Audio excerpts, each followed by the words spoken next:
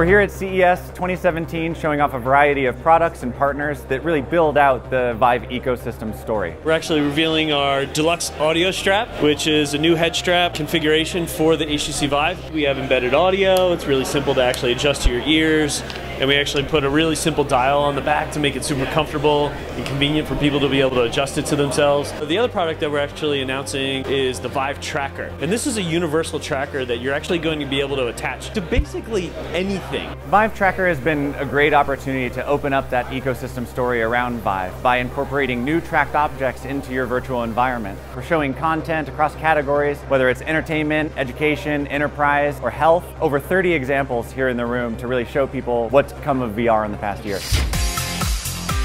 We're showing the VR15 rifle peripheral and also our haptic solution. So every time you pull the trigger on that rifle, you know, you feel it in your torso, you feel it in your hands. We're showing the Vive tracker and it enables us to track the fire hose and also we use it tied into our force feedback system so that you can really feel what it feels like. We created a custom camera. It allows users to take photos in the virtual world that you can print out in the real world. And we're making a virtual reality glove integrated with the Vive tracker to show the whole arms of the user in VR. Our first application is in professional baseball where we currently are creating pictures and replicate them so that teams can use it for player development as well as scouting. The Vive wireless upgrade kit the response so far has been great uh, because everybody loves wireless.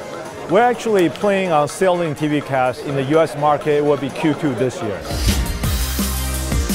To really fix healthcare in America, you need virtual reality. For most of man's history, even physicians couldn't look inside the body. We only guessed. This changes that.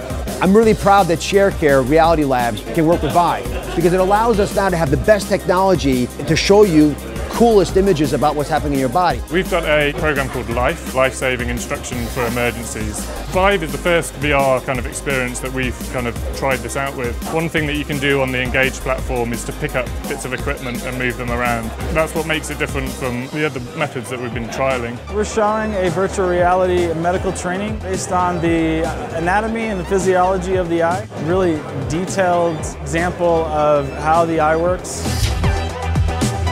We're showing the OSSIC X, which is our first headphone product, and what's unique about it is it's a smart learning headphone, which really unlocks the accuracy and the sound quality for full 3D immersion. The Everest Elite 700s and the HTC Vive, we brought in the audio layers, so we were able to go from this immersive virtual reality into a sort of mixed reality and bring in the real world audio and visual now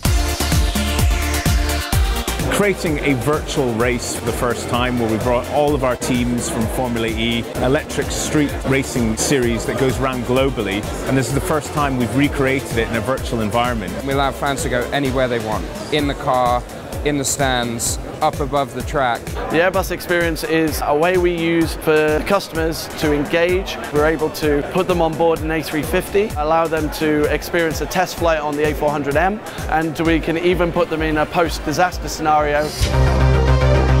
The week has been outstanding. So far, the Vive Tracker has won a series of awards. We're really excited about the opportunity to have the developers in here showing how Vive is creating this foundation for what's going to be an ecosystem of accessories. This is just a preview of what's to come.